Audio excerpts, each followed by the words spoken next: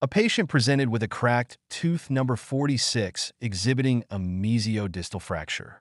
The tooth had a prior history of root canal treatment. Treatment approach disinfection. The fracture site, specifically the interface between the two fractured segments, was meticulously disinfected using chlorhexidine mouthwash followed by thorough air drying. A dental clamp, 13A, was utilized to maintain the reduced position of the segments during the initial setting of the GIC, but the fractured segments were carefully repositioned to their original anatomical alignment. Preparation Standard tooth preparation and reduction procedures were a full ceramic crown. Cementation The fabricated crown was subsequently cemented onto the prepared tooth. Postoperative care Radiographic assessment Postoperative radiographs were obtained to evaluate the fit and positioning of the crown. Follow up Regular follow up. Education is the key to unlocking your full potential.